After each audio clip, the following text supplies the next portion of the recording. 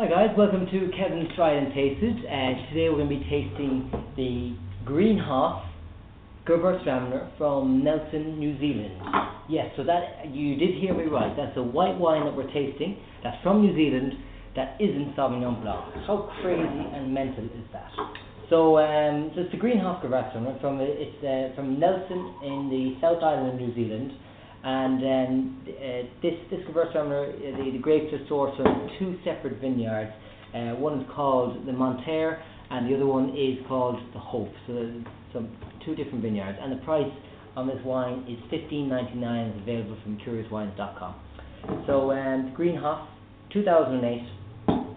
Uh, Gewürztraminers, they're, you know, they're not, you know, they're in the tall bottles, so everyone can be, be a little bit scared.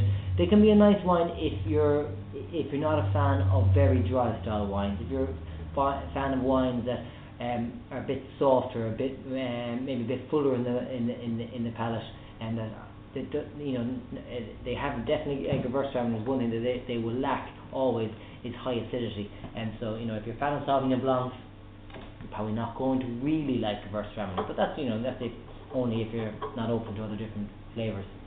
So um, let's have a smell of this. Oh, delicious, delicious nose. The Gewürztraminers are highly aromatic wines, and this one's got a lovely nose on it. And they're definitely the typical lychee, bit of kind of almost like a lychee ice cream, I can imagine. Hmm, a bit of peach, maybe a bit of peach element, possibly maybe. Um, hmm, I don't know what that is there now. It's really reminding me of something.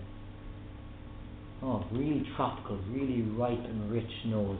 Um, delicious, really delicious. Now, it probably might be a bit of a scary note for some people because they're thinking, oh my god, this, this wine is in me, smells really sweet.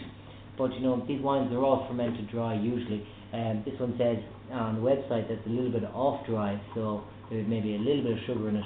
But all these wines, they want you to buy the wine, so they're not going to make a sweet wine out of it. They don't want to scare you.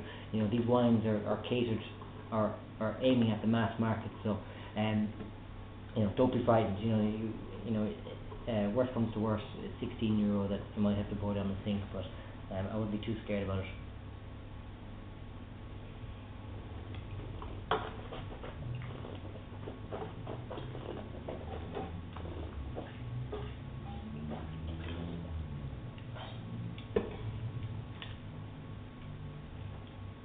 Low acidity, long finish, picking up a bit of the alcohol here on this um, you know, it says it's 14 and a half, so um, I am kind of tasting, I am getting a bit of a hot mouth at the end.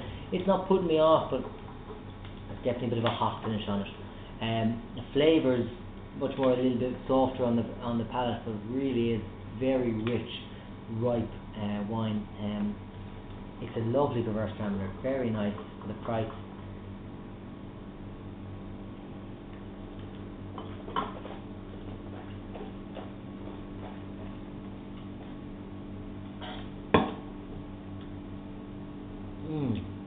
Very good. Definitely a wine, you know, Gewürztraminer, they always say it's a great wine to pair with Asian food, and I can see this, you know, just the, richness and, and, and the low acidity will work very well with um, with uh, Chinese food or Thai food. Um, it's the only thing that is really just going to bring this wine down for me is just that little bit of heat that you're picking up at the finish.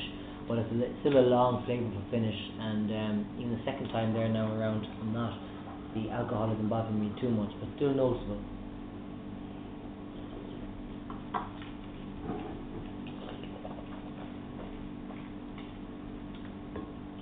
Mm. Lovely wine. Lovely wine. Um, Gewürztraminers, give them a shout, guys. Give them a try. You know, they're, they're, they're, they're, they're not that scary. I wouldn't be too, I wouldn't be too worried about it.